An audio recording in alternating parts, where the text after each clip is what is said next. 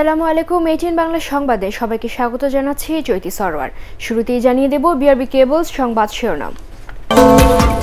দেশে করোনা ভাইরাসে আরও উনচল্লিশ জনের মৃত্যু, নতুন করে শনাক্ত দুই হাজার চারশো এক।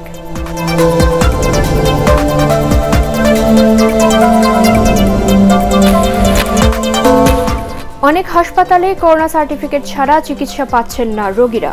রিপোর্ট পেতে দেরি হওয়ায় মারা যাচ্ছেন অনেকে।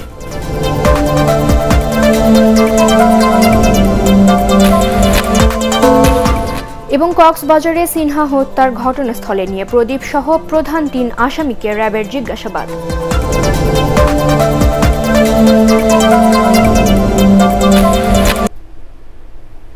শুনছিলেন বিআরবি কেবল সংবাদ শিরোনাম।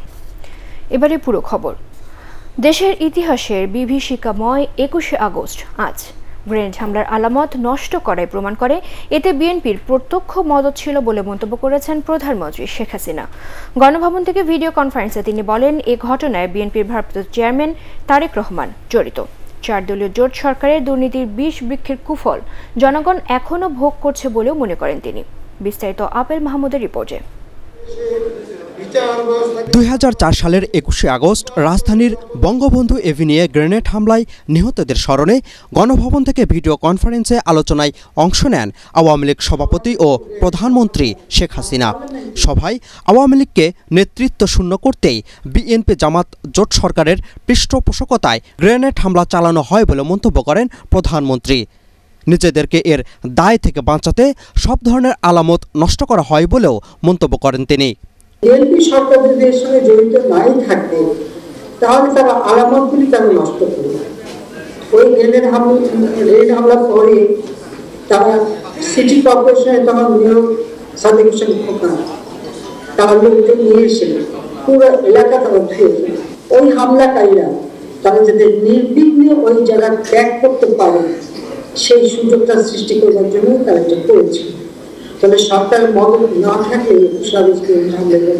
হতে পারে না। রাজনীতির নামে মানুষ হত্যা করা বিএনপির অভ্যাস উল্লেখ করে প্রধানমন্ত্রী বলেন তাদের অপকর্মের শিকড় এখনও উৎপাটন করছে সরকার। তার যে দুর্নীতি করে যাচ্ছে দুর্নীতির যে বৃক্ষ রচনা করে যাচ্ছে সারা বাংলাদেশে আজকে তার কুফল বাংলাদেশ ভোগ করছে। আমরা সরকার আসার পর এক এক করে সেগুলো ধরছি উদ্যাপন করছি। করোনার মধ্যেও দেশ যেন সামনে এগিয়ে যায় সেজন্য সবাইকে স্বাস্থ্যবিধি মেনে কাজ করার নির্দেশ দেন শেখ হাসিনা। সীমাবদ্ধতা থাকা সত্ত্বেও আমাদের অর্থনীতির চাকা গতিশীলতা আমাদের সাধারণ মানুষ যদি কষ্ট না পায় তাদেরকে যেভাবে সহযোগিতা করা তাদের সাহায্য করা এবং আমাদের দেশটা যেন আর সামনের দিকে এগিয়ে যেতে পারে সেজন্য যথাযথ চেষ্টা করে যাচ্ছি। এর আগে দলীয় কার্যালয়ের সামনে অস্থায়ী বেদিতে গ্রেনেড হামলায় নিহতদের শ্রদ্ধা জানান নেতাকর্মীরা। আপেল মাহমুদ, এটিএন বাংলা, ঢাকা। একুশে আগস্ট গ্রেনেড হামলা মামলায় বিচারিক আদালতে দেওয়া সব আসামি সাজা হাইকোর্টে বহাল রাখতে সর্বোচ্চ আইনি লড়াই করবে রাষ্ট্রপক্ষ। মামলাটি অগ্রাধিকার ভিত্তিতে শুনানি করতে প্রধান বিচারপতি সৈয়দ মাহমুদ হোসেনের কাছে আবেদন করা হবে বলে জানিয়েছেন অ্যাটর্নি জেনারেল মাহবুবে আলম। তবে আসামি পক্ষ বলছে, রাজনৈতিক বিবেচনায় তড়িঘড়ি করে শুনানি করা হলে ন্যায় বিচার নিশ্চিত হবে না। আরও জানাচ্ছেন হুমায়ুন চিস্তি। প্রায় দুই বছরেও শুরু হয়নি মামলার আপিল শুনানি। হত্যা ও বিস্ফোরক দ্রব্য আইনের দুই মামলায় ডেথ রেফারেন্স সহ জেল আপিলের নথি দুই হাজার আঠারো সালের সাতাশ নভেম্বর হাইকোর্টে আসে।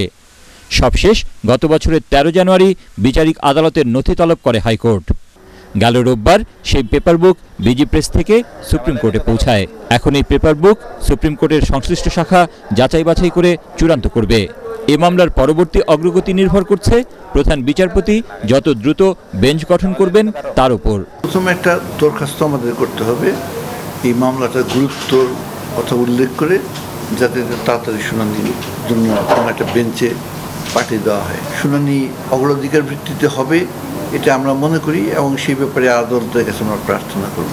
মামলায় রাজনৈতিককরণ না করে যাতে ন্যায় বিচার হয় এবং যারা সত্যিকারে দোষী তাদেরকে দোষ সাব্যস্ত করে তাদেরকে দণ্ডাদেশ দেওয়া হোক। রাষ্ট্রের সর্বোচ্চ আইন কর্মকর্তা আরও জানান একটি রাজনৈতিক দলকে নিশ্চিন্ন করার জন্য একুশে আগস্টের এ নারকীয় হামলার ঘটনা ঘটে। উচ্চ আদালতে মামলার শুনানির বিষয়টি অগ্রাধিকার পাবে। তবে আসামিপক্ষের আইনজীবীরা বলছেন রাজনৈতিক বিবেচনায় নয় বরং সব মামলাকেই সমান গুরুত্ব দিয়ে শুনানি করতে হবে। আসামিপক্ষ রায়ের বিরুদ্ধে আপিল করলেও সাজা বাড়াতে কোনো আপিল করেনি রাষ্ট্রপক্ষ। আমরা প্রস্তুত আছি তবে আমার কথা হলো হঠাৎ করে মামলাটি এতদিন পরে অগ্রাধিকার ভিত্তিতে যদি করা হয় সেক্ষেত্রে জনমনে একটা বিভ্রান্তি সৃষ্টি হতে পারে। প্রয়াত রাষ্ট্রপতি জিল্লুর রহমান সাহেব মৃত্যুর আগেও আফসোস করেছেন আমাদের কাছে যে আমি কি বিচারটা দেখতে পারব না? কারণ ওনার স্ত্রী মারা গেছিলেন এই হামলায়। যে সাজাটা আছে, সেটি যাতে বহাল থাকে, এটি আমাদের প্রচেষ্টা হবে। এ ঘটনায় হত্যা ও বিস্ফোরক দ্রব্য আইনের দুই মামলায় দুই হাজার আঠারো সালের দশ অক্টোবর বিএনপি নেতৃত্বাধীন চার দলীয় জোট সরকারের সাবেক স্বরাষ্ট্র প্রতিমন্ত্রী লুৎফুজ্জামান বাবর এবং সাবেক উপমন্ত্রী আব্দুস সালাম পিন্টু সহ উনিশ জনকে মৃত্যুদণ্ড দেয় বিচারিক আদালত। বিএনপি চেয়ারপারসন খালেদা জিয়ার বড় ছেলে ও দলটির ভারপ্রাপ্ত চেয়ারম্যান তারেক রহমান, খালেদা জিয়ার রাজনৈতিক সচিব হারিস চৌধুরী সহ উনিশ জনকে যাবজ্জীবন কারাদণ্ড দেওয়া হয়। এছাড়া বিভিন্ন মেয়াদে সাজা দেওয়া হয় সাবেক তিন আইজিপি সহ এগারো আসামিকে। রায়ের পর্যবেক্ষণে বলা হয়, আওয়ামী লীগের মতো একটি রাজনৈতিক দলকে নেতৃত্ব শূন্য করতেই ওই হামলা চালানো হয়েছিল। এ ঘটনায় জড়িত ও নেপথ্যের কুশীলবদের দৃষ্টান্তমূলক শাস্তি দিয়ে এ ধরনের ঘটনার পুনরাবৃত্তি রোধ সম্ভব। মামলার অন্যতম আসামি তারেক রহমান, হারিস চৌধুরী সহ চোদ্দ জন এখনও পলাতক। হুমায়ুন চিস্তি, এটিএন বাংলা, ঢাকা। একুশে আগস্ট গ্রেনেড হামলার ঘটনায় প্রকৃত দোষীরা ধরার না পড়ার জন্য বিএনপিরও দায় আছে বলে মন্তব্য করেছেন দলটির স্থায়ী কমিটির সদস্য গয়েশ্বর চন্দ্র রায়। রাজধানীর নয়াপল্টনে বিএনপির কেন্দ্রীয় কার্যালয়ে ঢাকা জেলা বিএনপি আয়োজিত বিএনপির ভাইস চেয়ারম্যান আব্দুল মনানের স্মরণ সভায় তিনি এই মন্তব্য করেন। রাজনৈতিক কারণে বিএনপির ভারপ্রাপ্ত চেয়ারম্যান তারেক রহমানকে গ্রেনেড হামলার ঘটনায় জড়ানো হয়েছে বলে এ সময় অভিযোগ করেন দলটির নেতারা। গ্রেনেড হামলা যারা সম্পৃক্ত, আমার মনে হয় কেউ এখানে ভিকটিম হয় নাই, আসামি হয় নাই।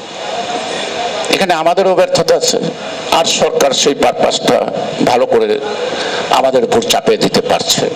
এটা একটা রাজনৈতিক অস্ত্র হিসাবে বিএনপির উপর প্রয়োগ করা হয়েছে। যেহেতু একটি রাজনৈতিক হিসাব নিকাশের ব্যাপার, সেই কারণেই আসল ঘটনা কখনো আলোর মুখ দেখবে না। দেশে করোনা ভাইরাসে গত চব্বিশ ঘন্টায় আরও উনচল্লিশ জনের মৃত্যু হয়েছে। এই নিয়ে মোট মৃতের সংখ্যা বেড়ে দাঁড়াল তিন হাজার ছশো চব্বিশ জনে। সবশেষ চব্বিশ ঘন্টায় বারো হাজার নয়শো তেতাল্লিশটি নমুনা পরীক্ষায় নতুন দুই হাজার চারশো এক জনের করোনা শনাক্ত হয়েছে। শনাক্তের হার আঠারো দশমিক পাঁচ পাঁচ শতাংশ। এ নিয়ে দেশে মোট করোনা আক্রান্তের সংখ্যা দুই লাখ নব্বই হাজার তিনশো ষাট জন। স্বাস্থ্য অধিদপ্তরের সংবাদ বিজ্ঞপ্তিতে এসব তথ্য জানানো হয়। চব্বিশ ঘন্টায় সুস্থ হয়েছেন তিন হাজার ছশো চব্বিশ জন। এ পর্যন্ত সুস্থ হয়েছেন এক লাখ একাত্তর হাজার ছশো পনেরো জন। শনাক্ত বিবেচনায় সুস্থতার হার উনষাট দশমিক চার পাঁচ শতাংশ। মৃতদের মধ্যে সাতাশ জন পুরুষ ও বারো জন নারী। মৃতদের মধ্যে তেইশ জনই ঢাকা বিভাগের। দ্বিতীয় সর্বোচ্চ পাঁচ জন মারা গেছেন খুলনা বিভাগে। করোনা ভাইরাস ও উপসর্গ নিয়ে দেশের বিভিন্ন জেলায় অন্তত উনিশ জন মারা গেছে। এর মধ্যে সিলেট, খুলনা এবং বগুড়ায় বারো জনের মৃত্যু হয়েছে। চিকিৎসক, নার্স ও ব্যাংকার সহ এসব জেলায় চার শতাধিক মানুষ করোনায় আক্রান্ত হয়েছেন। প্রতিনিধিদের তথ্যচিত্রের ভিত্তিতে রিপোর্ট করছেন প্রাসনা দাস। খুলনায় আবারও ভয়াবহ রূপ নিয়েছে করোনা পরিস্থিতি। খুলনা মেডিকেল কলেজ হাসপাতালের করোনা আইসোলেশন ইউনিটে চিকিৎসাধীন অবস্থায় চারজনের মৃত্যু হয়েছে। মৃতদের মধ্যে একজন কিশোরী।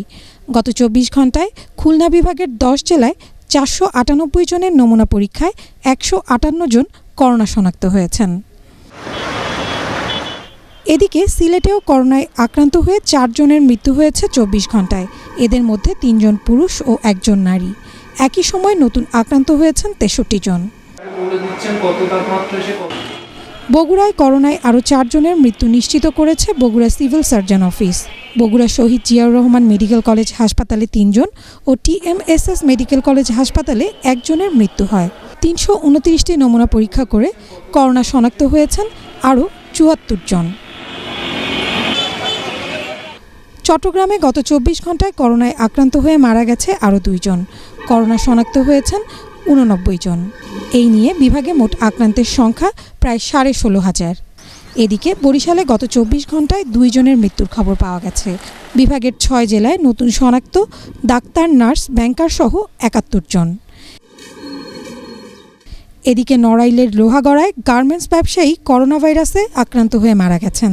এছাড়া নোয়াখালীতে একচল্লিশ জন নাটোরে আটজন, শেরপুরে সাতজন ও নেত্রকোনায় দুইজন করোনা পজিটিভ শনাক্ত হয়েছেন রাসনা দাস, এটিএন বাংলা। এখনও অনেক হাসপাতালে করোনা সার্টিফিকেট ছাড়া চিকিৎসা পাচ্ছেন না রোগীরা। করোনা টেস্ট করানোর পর রিপোর্ট পেতে দেরি হওয়ায় অনেকেই ঢলে পড়েছেন মৃত্যুর মুখেও। স্বাস্থ্য অধিদপ্তর জানিয়েছে, কোনো হাসপাতালের বিরুদ্ধে চিকিৎসা না দেওয়ার অভিযোগ পাওয়া গেলে ব্যবস্থা নেওয়া হবে। হাবিবুর রহমান ওভির রিপোর্ট। কিছুদিন আগে বুকে ব্যথা ও শ্বাসকষ্ট নিয়ে সিলেটের কয়েকটি হাসপাতাল ঘুরেও চিকিৎসা পাননি এক নারী। অবশেষে অ্যাম্বুলেন্সেই মৃত্যু হয় তার। একই দিনে তিনটি হাসপাতাল ঘুরেও সেবা না পেয়ে মৃত্যুবরণ করেন এক ব্যবসায়ী। শুধু সিলেট নয়, সারা দেশের হাসপাতালগুলোর চিত্র প্রায় একই। রাজধানীর কয়েকটি হাসপাতাল ঘুরেও পাওয়া গেছে এমন অভিযোগ। এই গালের ভিতরে গা হয়েছে ক্যান্সারের। এদিকে বাইর হয়ে ছিদ্র হয়ে গেছে। এমার্জেন্সিতে বললাম আমার রোগী সিরিয়াস অবস্থা। হয়তো করোনা পরীক্ষা ছাড়া আমরা রুগীকে ভর্তি করাবো না। রাস্তায় দুই দিন থাকলাম। থাকার পরে অসুস্থ স্বামী বৃষ্টিতে ভিজি। এমন এক বাসা ভাড়া করেছি সে জায়গায় দশ হাজার টাকা চাই পাঁচশো টাকা ছশো টাকা একজনের বুঝ দিয়ে এখানে পরীক্ষার রিপোর্টগুলি পাওয়ার জন্য। এইটাও পাইলাম না আজকে দেওয়ার কথা ছিল আজকে পাইলাম না। রুগী নিয়ে আসছে যে আজকে ওই সাত দিন। করোনাকালে হাসপাতালে জনবল কম থাকার কথা স্বীকার করেন কর্তৃপক্ষ। এ সময় রোগীদের ধৈর্য ধরে সেবা নেওয়ার আহ্বান জানান তারা। আপনি দেখান আউটডোরে ডায়াগনোসিস কনফার্ম হবে তারপরে বোর্ডে যাবে ট্রিটমেন্টের ডিসিশন হবে তারপরে আপনাকে করোনা টেস্ট করতে দেওয়া হবে। আপনি প্রথম দিন এসেই করোনা টেস্টের জন্য হইচই করার কোনো প্রয়োজন নাই। এখন রোগীরা তাড়াহুড়া করে বাইরে করে আনেন। বাইরে করতে গিয়ে যদি তারা আবার দালালের পাল্লায় পড়ে বেশি টাকা দিয়ে করে আনেন এটা নিয়ন্ত্রণ করবে কে? হাসপাতালের বিরুদ্ধে চিকিৎসা সেবা না দেওয়ার অভিযোগ পাওয়া গেলে তদন্ত করে ব্যবস্থা নেওয়ার কথা জানিয়েছে স্বাস্থ্য অধিদপ্তর। যদি এরকম কোনো স্পেসিফিক গণমাধ্যমরা এসে আমাকে ওই কপি দেয় বা এই করে তাহলে আমরা সেটাও একটা ব্যবস্থা নিতে পারি। এবং যেভাবে আমাদের রোগীর সংখ্যা কমছে ডিসিশন ফাইনাল হলে আমরা যে সমস্ত কোভিড ডেডিকেটেড হসপিটাল সেখানে কোভিড এবং নন কোভিড রোগীকে আমরা চিকিৎসা দিতে পারব ইনশাআল্লাহ। সব ধরনের রোগের চিকিৎসা নিশ্চিত করতে হাসপাতালগুলোকে দেওয়া নির্দেশনা মেনে চলার আহ্বান এই অধিদপ্তরের। হাবিবুর রহমান অফি এটিএন বাংলা, ঢাকা। কক্সবাজারে অবসরপ্রাপ্ত মেজর সিনহা মোহাম্মদ রাশেদ খান হত্যার ঘটনাস্থলে নিয়ে টেকনাফ থানার বরখাস্ত ওসি প্রদীপ কুমার দাস সহ মামলার প্রধান তিন আসামিকে জিজ্ঞাসাবাদ করেছে র্যাব।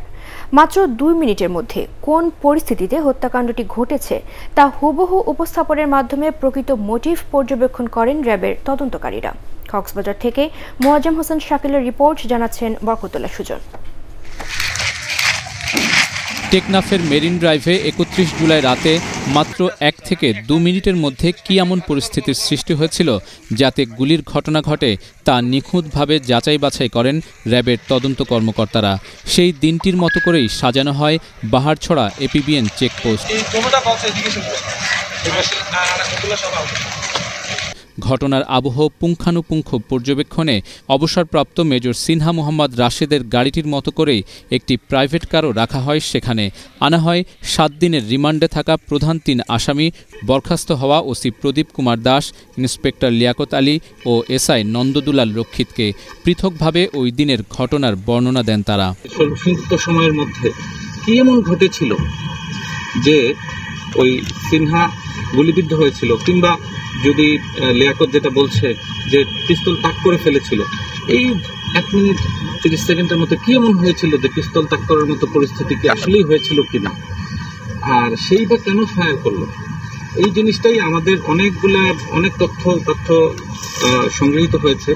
গত আঠারো আগস্ট কক্সবাজার জেলা কারাগার থেকে এই তিন আসামিকে সাত দিনের রিমান্ডে নিজেদের হেফাজতে নেয় র্যাব। র্যাব জানায়, রিমান্ডের অংশ হিসেবে এই মহড়ার উদ্দেশ্য সত্য উদ্ঘাটন। নিজেকে সন্তুষ্ট করার জন্য যাতে করে সে কোনোভাবেই কোনো নির্দোষ ব্যক্তি সাজা না পায়। এবং কোনো দোষী ব্যক্তি যেন কোনোভাবে পরোক্ষ প্রত্যক্ষভাবে যদি প্রভাবিত করে, তাকে যদি কোনো রকম পরোক্ষ প্রত্যক্ষভাবে কোনো ধরনের এই ফায়ার কাজে ইনস্টিগেশন কারা করেছিল, কীভাবে করেছিল সব কিছু অ্যানালাইসিস করে তারপরে আমরা শুক্রবার দুপুরে প্রায় তিন ঘণ্টা চলে এই জিজ্ঞাসাবাদ। এতে ঘটনার পুরো চিত্র সম্পর্কে বিস্তারিত তথ্য পান মামলার তদন্তকারী কর্মকর্তা, র্যাব পনেরোর সিনিয়র সহকারী পুলিশ সুপার খায়রুল ইসলাম। এর আগে বৃহস্পতিবার রাতে সিনহার সহকারী শিপ্রা শিফাতের ল্যাপটপ সহ উনত্রিশটি ডিভাইস রামু থানা পুলিশের কাছ থেকে বুঝে নেয় র্যাব। বরকতুল্লাহ সুজন এটিএন বাংলা। রাজধানীতে ডজনে ছয় থেকে আট টাকা বেড়েছে ডিমের দাম। তবে মাছ ও মুরগির দাম কিছুটা কমেছে আরও জানাচ্ছেন আদ্দিন সাজিব। বর্ষার ভরা মৌসুম শেষে ভরপুর রাজধানীর মাছের বাজার কিন্তু ক্রেতা নেই তেমন। অথচ কুরবানি ঈদের পর মাছের বেচে কেনা জমজমাট হওয়ার কথা এর জন্য করোনা পরিস্থিতিকে দায়ী করছেন মাছ ব্যবসায়ীরা। কখনো মাছ নিচ্ছি বাসায় স্বাদ ভালো পাচ্ছে আবার কখনো মাছ খাচ্ছি ইলিশ কিন্তু এটা কোন প্রজাতির ইলিশ বা কোন নদীর ইলিশ এটা বোঝা যাচ্ছে না। ব্যবসায়ীদের আমরা খুব কষ্টে আছে। পরিস্থিতি সবাই জানে কেন। করোনার পরিস্থিতির কারণে সব জায়গায় বাধা পড়ছে। দেশের বিভিন্ন স্থানে বন্যায় মুরগির খামার ক্ষতিগ্রস্ত হয়েছে। কমেছে সরবরাহ দামও কমেছে আগের চেয়ে। কিন্তু তারপরেও মুরগির বাজারে বেচে কেনা আগের মতো নয়। করোনার ভয়ে ওরা বাইরে না। ম্যাক্সিমাম আপনার শিক্ষিত লোকের বা ভালো বড় বিআইপি লোকেদের ভয় ভিত্তিটা বেশি। তবে বাজারে চাহিদা বেড়েছে ডিমের। করোনায় রোগ প্রতিরোধ ক্ষমতা বাড়াতে ডিম বেশি খাচ্ছেন মানুষ। সেই সুযোগে দাম বাড়িয়েছেন ব্যবসায়ীরা। আগে তো ছিল একশো টাকা পঁচানব্বই টাকা ডজন এখন একশো আট টাকা ডজন একশো পাঁচ টাকা একটু মিডিয়াম ছোট সাইজ রাজধানীর বাজারে খানিকটা চড়া সবজির দাম বর্ষার কারণ দেখাচ্ছেন বিক্রেতারা। সিটি কর্পোরেশন প্রতিদিনের জন্য একটা ইয়ে দিয়ে দিত যে আজকে এই বাজারটা এই রেটটা এই রেটটা এই রেট তাহলে যেন আমাদের জন্য উপকার অর্থনীতি তো খারাপ এই জন্য আমাদের এই অব- অবস্থা খারাপ। মাল কিনি চল্লিশ, বেচার লাগে পরে তিরিশ। করোনা দুর্যোগে এমনিতেই আর্থিক সংকটে মানুষ তার উপর বাজারের বাড়তি এই চাপ সামলাতে হিমশিম খেতে হচ্ছে অনেককে। আদিন সজীব, এটিএন বাংলা, ঢাকা। নদ নদীর পানি বাড়ায় দেশের বিভিন্ন স্থানে বন্যা পরিস্থিতির আবারও অবনতি হয়েছে। বরিশালের মেহিন্দিগঞ্জে পানিতে ডুবে মারা গেছে দুই শিশু। জেলায় পঞ্চাশ হাজারেরও বেশি মানুষ পানি পানিবন্দী রয়েছেন। এর সাথে নদী ভাঙন শুরু হওয়ায় দুর্ভোগে পড়েছেন স্থানীয়রা। অন্যদিকে পদ্মার পানি বাড়ায় শরীয়তপুরে নতুন করে বিভিন্ন এলাকা প্লাবিত হচ্ছে। তীর রক্ষা বাঁধের তলদেশ থেকে জিও ব্যাগ ও সিসি ব্লক সরে যাওয়ায় আঠারোটি স্থানে ভাঙ্গনের সৃষ্টি হয়েছে। এ কারণে শিক্ষা প্রতিষ্ঠান সহ অনেক ব্যবসা প্রতিষ্ঠান ও বসত বাড়ি নদী গর্ভে বিলীন হয়েছে। বন্যা পরিস্থিতির অবনতি হয়েছে টাঙ্গাইলেও। বৃষ্টির কারণে যমুনা, ধলেশ্বরী, ঝিনাই এবং বংশাই নদীর পানি গত কয়েকদিন ধরে বৃদ্ধি পাচ্ছে। এদিকে নাটোরে পানি কমতে থাকায় জেলার নলডাঙ্গা ও সিংড়া উপজেলার বিভিন্ন আশ্রয়কেন্দ্রে বানভাসী মানুষ বাড়ি ফিরতে শুরু করেছেন। জামালপুরে কিছু এলাকার পানি নামলেও জমি চাষের উপযোগী হতে এখনও সময় লাগবে। বৃষ্টিপাত না হওয়ায় নেত্রকোনায় নদ নদীর পানি হ্রাস পেয়েছে। ফলে সেখানে বন্যা পরিস্থিতির উন্নতি হয়েছে। তবে শেরপুরে বন্যা পরবর্তী দুর্ভোগে মানবেত জীবনযাপন করছেন বাসস্থান হারানো হাজারো মানুষ।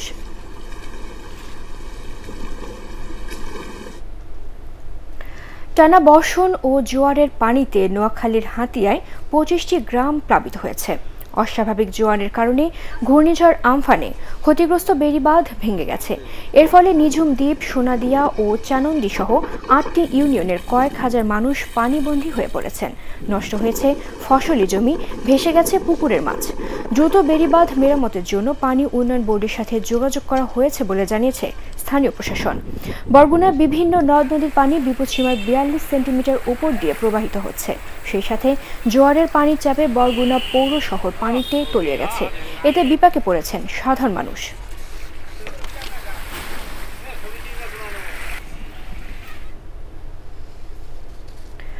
ডেঙ্গু প্রতিরোধে সরকারি উদ্যোগের পাশাপাশি নব্বই ভাগ জনগণের সম্পৃক্ততা দরকার বলে মন্তব্য করেছেন ঢাকা উত্তর সিটি কর্পোরেশনের প্রধান স্বাস্থ্য কর্মকর্তা brigadier general Mominur Rahman Mamun. ATN বাংলায় ডেঙ্গু প্রতিরোধে করণীয় বিষয়ক টক শোতে তিনি এই মন্তব্য করেন। এ সময় মশক নিধনের ওষুধ মানুষের কাছে সহজলভ্য করতে আমদানি শুল্ক কমানোর উপর জোর দেন debate for democracy chairman Hasan Ahmed Chowdhury Kiron. বিস্তারিত শফিকুল ইসলাম শামীমের রিপোর্টে। করোনা মহামারী ও বন্যার মধ্যে এবছর ডেঙ্গুর তেমন প্রাদুর্ভাব না থাকায় কিছুটা স্বস্তিতে নগরবাসী। তবে আত্মতুষ্টি নয়। বছরব্যাপী সিটি কর্পোরেশনের নানামুখী উদ্যোগ অব্যাহত থাকার পাশাপাশি জনগণ সচেতন হলেই ডেঙ্গু নিয়ন্ত্রণে রাখা সম্ভব। শুধুমাত্র মৌসুম ভিত্তিক কোনো সতর্কতা বা উদ্যোগ নয়, এটা সারা বছরের একটা উদ্যোগ হবে। সেইটা আসলে আমাদেরকে হয়তো বা ভবিষ্যতে সম্পূর্ণভাবেই ডেঙ্গু মুক্ত করবে যদি এইভাবে কাজ চলতে থাকে। ঢাকা উত্তর সিটি কর্পোরেশনের প্রধান স্বাস্থ্য কর্মকর্তা ব্রিগেডিয়ার জেনারেল মমিনুর রহমান মামুন জানান, সচেতনতা বৃদ্ধি পাওয়ায় আগের চেয়ে এখন এডিস মশার লার্ভা কম পাওয়া যাচ্ছে। ডেঙ্গু রোগীর সংখ্যাও তুলনামূলক কম। আমরা মার্চ মাসে যখন করলাম, তখন আমরা যতগুলো বাড়ি পরিদর্শন করেছি, তার এক দশমিক নয় আট শতাংশ বাড়িতে আমরা কিন্তু লার্ভা পেয়েছিলাম। লাস্ট যেটা করলাম, সেখানে হলো শূন্য দশমিক পাঁচ তিন শতাংশ আমরা পরিদর্শনকৃত বাড়ির মধ্যে আমরা লার্ভা পেয়েছি। তার মানে দেখেন আমরা কিন্তু এই কাজে কিন্তু জনগণ কিন্তু সম্পৃক্ত হচ্ছে এবং সচেতন হচ্ছে। আর জনস্বাস্থ্যের পেস্টিসাইড আমদানিতে যে ষাট থেকে সত্তর শতাংশ শুল্ক প্রদান করতে হয় তা কমিয়ে দশ শতাংশ করার প্রস্তাব দেন ডিবেট ফর ডেমোক্রেসির চেয়ারম্যান হাসান আহমেদ চৌধুরী কিরণ। ডেঙ্গু মশার নিরোধের জন্য যে লার্ভাসাইডটা ইম্পোর্ট করা হয় যে ওষুধ ইম্পোর্ট করা হয় সেই ওষুধের কিন্তু শুল্ক অনেক বেশি, ষাট থেকে সত্তর পার্সেন্ট সেক্ষেত্রে জনগণকে অতি সুলভ মূল্যে যদি আমরা এই মশার, মারার ওষুধ দিতে পারি, তাহলে কিন্তু আমাদের এই মানুষের মধ্যে এই ওষুধ ছিটানোর প্রবণতা বৃদ্ধি পাবে। আমি জোর দাবি রাখতে চাই সরকারের কাছে যাতে এই ডেঙ্গু মশা নিরোধের জন্য যে ওষুধ ব্যবহার করা হয়, সেই ওষুধ যাতে দশ পার্সেন্ট শুল্কে অথবা যেটি আমাদের কৃষিজ উৎপাদনে ব্যবহার করা হয়, সেই একই শুল্ক আমদানি করার জন্য সরকার যাতে সেই দৃষ্টি আকর্ষণ করে। তবে ডেঙ্গু প্রতিরোধে জনসচেতনতা বৃদ্ধির কোনো বিকল্প নেই বলে মত দেন আলোচকরা। শফিকুল ইসলাম শামীম, এটিএন বাংলা, ঢাকা। বিভিন্ন কর্মসূচির মধ্য দিয়ে সারা দেশে পালিত হচ্ছে বিভীষিকাময় একুশে আগস্ট। এই উপলক্ষে চট্টগ্রামের শহীদদের প্রতি শ্রদ্ধা, আলোচনা সভা ও দোয়া মাহফিলের আয়োজন করে আওয়ামী লীগ। নগরীর আন্দরকিল্লায় দক্ষিণ জেলা আওয়ামী লীগ কার্যালয়ে আয়োজিত অনুষ্ঠানে সংগঠনের সভাপতি মুসলিম উদ্দিন আহমেদ, সাধারণ সম্পাদক মফিজুর রহমান বক্তব্য রাখেন। বিকেলে আলোচনা সভার আয়োজন করে চট্টগ্রাম মহানগর আওয়ামী লীগ। রাজশাহীতে একুশে আগস্ট গ্রেনেড হামলায় নিহতদের প্রতি শ্রদ্ধা জানান মহানগর আওয়ামী লীগের নেতাকর্মীরা মহানগর আওয়ামী লীগের সাধারণ সম্পাদক ডাবলু সরকার, মহানগর যুবলীগ সভাপতি রমজান আলী এ সময় উপস্থিত ছিলেন। এদিকে রাজশাহী জেলা আওয়ামী লীগ কার্যালয়ে আয়োজিত আলোচনা সভায় সংগঠনের সাধারণ সম্পাদক আব্দুল ওয়াদুদ্দারা বক্তব্য রাখেন। এ উপলক্ষে খুলনায় আওয়ামী লীগ কার্যালয়ে দিনব্যাপী কোরআনখানি ও আলোচনা সভা অনুষ্ঠিত হয়। খুলনা সিটি কর্পোরেশনের মেয়র তালুকদার আব্দুল খালেক, খুলনা জেলা আওয়ামী লীগের সাধারণ সম্পাদক সুজিত অধিকারী, মহানগর আওয়ামী লীগের সাধারণ সম্পাদক M D A Babul Rana এ সময় উপস্থিত ছিলেন।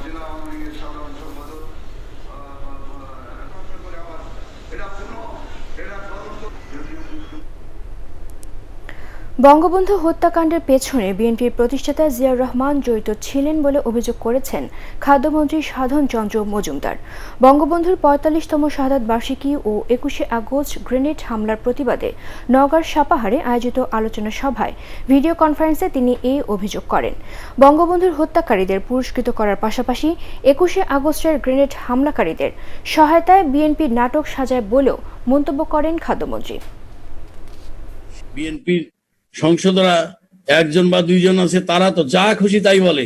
সুন্দর করে বলতে পারে। আর তখন আওয়ামী লীগের কোন পার্লামেন্ট মেম্বারকে হত্যা সম্পর্কে বলতে দেওয়া হয়নি। শুধুমাত্র আমরা খন্দকার মোস্তাফার তাহেরুদ্দিন ঠাকুরের দোষ দিয়ে লাভ নাই। এর সাথে যারা জড়িত ছিল, জিয়াউর রহমান ছিল মাস্টার মাইন্ড এবারে আল আরাফা ইসলামী ব্যাংক অর্থ সংবাদ।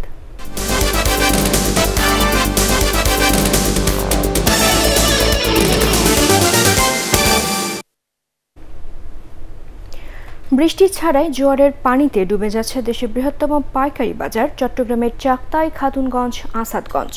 বৃহস্পতিবারও এই বাজারের কোথাও কোথাও ছিল কোমর থেকে হাঁটু পানি। এ সময় বেচাকেনা বন্ধ করে ব্যবসায়ীরা মালামাল রক্ষায় ব্যস্ত হয়ে পড়েন। বেশিরভাগ দোকান ও গুদামে পানি ঢুকে মালামাল নষ্ট হওয়ায় ক্ষতির মুখে পড়েন ব্যবসায়ীরা। ব্যবসায়ীদের অভিযোগ, জোয়ারের সময় পানি ঠেকাতে চট্টগ্রাম উন্নয়ন কর্তৃপক্ষ চাকতাই খালের মুখে একটি স্লুইস গেট বসানোর কাজ দুই বছর আগে শুরু করে, কিন্তু সে কাজ এখনও শেষ হয়নি। খালের মুখে বাঁধ দিয়ে কাজ চলছে, ফলে জোয়ারের পানি ঢুকলেও ভাটার সময় দ্রুত পানি সরতে না পারায় জলাবদ্ধতা দীর্ঘস্থায়ী হচ্ছে। এবারে আন্তর্জাতিক সংবাদ।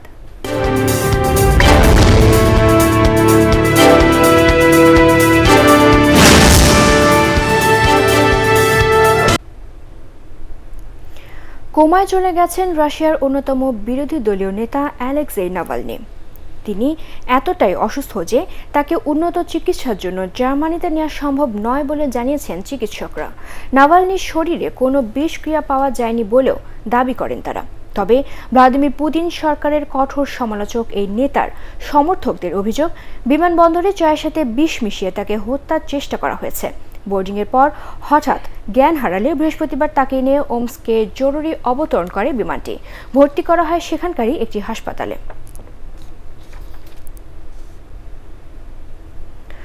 ডোনাল্ড ট্রাম্পের অন্ধকার সময় থেকে যুক্তরাষ্ট্রকে মুক্ত করার ঘোষণা দিয়েছেন ডেমোক্রেটিক পার্টির প্রেসিডেন্ট প্রার্থী জো বাইডেন।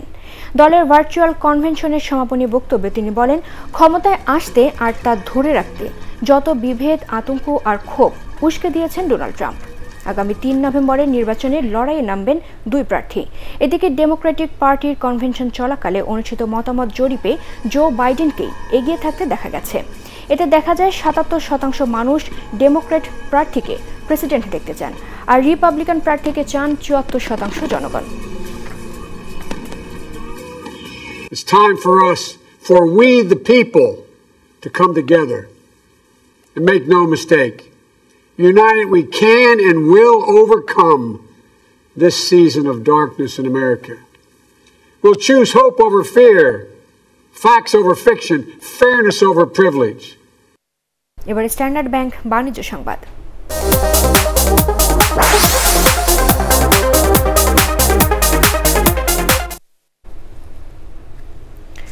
ব্রাহ্মণবাড়িয়ার আশুগঞ্জ উপজেলার ছয় ভিক্ষুককে স্বাবলম্বী করতে বিশেষ উদ্যোগ নিয়েছে উপজেলা প্রশাসন। প্রধানমন্ত্রীর ভিক্ষুক পুনর্বাসন কর্মসূচির আওতায় উপজেলা স্বাস্থ্য কমপ্লেক্স সংলগ্ন মার্কেটের সামনে তাদের দোকান করে দেওয়া হয়েছে। ব্যবসা পরিচালনার জন্য প্রত্যেককে পঞ্চাশ হাজার করে টাকা দেওয়া হয়েছে। সহায়তা পাওয়া ব্যক্তিরা যাতে ঠিকমতো ব্যবসা করতে পারেন, সে ব্যাপারে উপজেলা প্রশাসন সার্বক্ষণিক তদারকি করবে। চট্টগ্রামের বিভাগীয় commissioner A B M Azad, Ashuganj upazila নির্বাহী কর্মকর্তা নাজিমুল হায়দার পুনর্বাসন মার্কেটের উদ্বোধনী অনুষ্ঠানে উপস্থিত ছিলেন। এবারে পার্টেক্স খেলার খবর।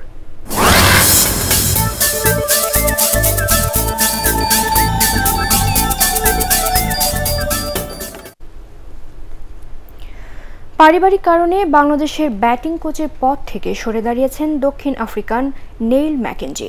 তাকে নিয়ে গুঞ্জন শোনা যাচ্ছিল বেশ কয়েকদিন ধরেই। শ্রীলঙ্কা সফরে যেতে রাজি নন বলে তার বিকল্প খোঁজার কাজও শুরু করে দেয় বিসিবি। তবে সফরে যেতে অনীহা নয়, বাংলাদেশ দলের সাথেই আর থাকতে রাজি নন নীল ম্যাকেনজি।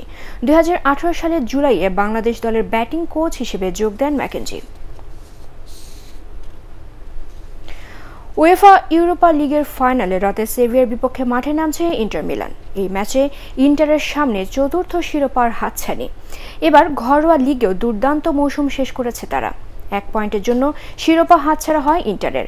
সবশেষ দুই হাজার দশ সালে এই প্রতিযোগিতার ট্রফি জিতেছিল ইতালিয়ার ক্লাবটি। অন্যদিকে ইউরোপা লিগের সবচেয়ে সফল দল সেভিয়া। এর আগে পাঁচবার ফাইনালে উঠে প্রতিবারই শিরোপার স্বাদ নেয় স্প্যানিশ ক্লাবটি। প্রথম সেমিফাইনালে ইংলিশ জায়ান্ট ম্যানচেস্টার ইউনাইটেডকে হারিয়ে ফাইনাল নিশ্চিত করে সেভিয়া। সবশেষ তিন ম্যাচে জয় পেয়ে বেশ আত্মবিশ্বাসী ডিয়েগো কার্লোস, এভার বানেগা, ফার্নান্দোরা। জার্মানির কোলনে ম্যাচটি শুরু হবে রাত একটায়।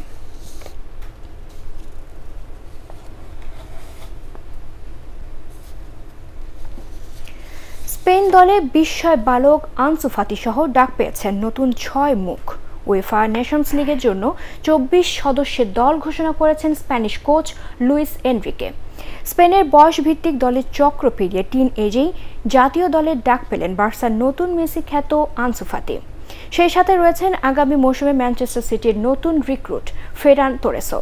বাদ পড়েছেন জেরার্ড পিকে, লস নিগুয়েস, কোকে, আলভারো মুরাতো, মার্কোস লরেন্টোর মতো অভিজ্ঞ ফুটবলাররা। আগামী তিন সেপ্টেম্বর নেশনস লিগে অ্যাওয়ে ম্যাচে জার্মানির মুখোমুখি হবে স্পেন। তিন দিন পর হোম ম্যাচে স্প্যানিশদের প্রতিপক্ষ ইউক্রেন। আগামী বছর মার্চে ঢাকায় অনুষ্ঠিত হবে এশিয়ান হকি চ্যাম্পিয়ন্স ট্রফি।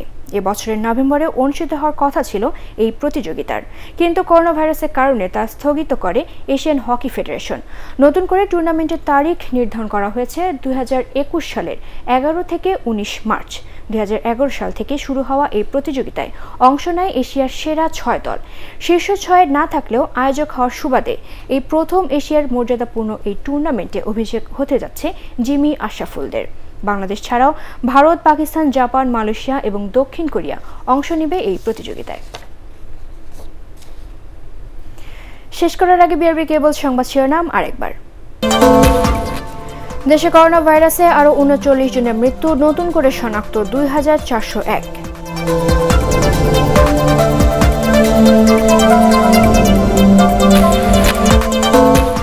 অনেক হাসপাতালে করোনা সার্টিফিকেট ছাড়া চিকিৎসা পাচ্ছেন না রোগীরা। রিপোর্ট পেতে দেরি হওয়ায় মারা যাচ্ছেন অনেকে।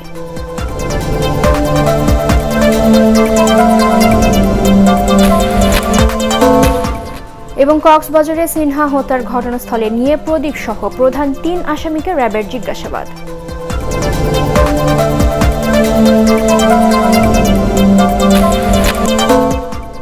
পরবর্তী সংবাদ দেখার আমন্ত্রণ জানিয়ে এখনকার মতো শেষ করছি। করোনা ভাইরাস থেকে নিজেকে সুরক্ষিত রাখতে মাস্ক পরুন এবং বারবার হাত পরিষ্কার করুন। এটিন বাংলা সংবাদ, ইউটিউবে দেখতে ব্রাউজ করুন YouTube slash ATN Bangla news ধন্যবাদ সবাইকে।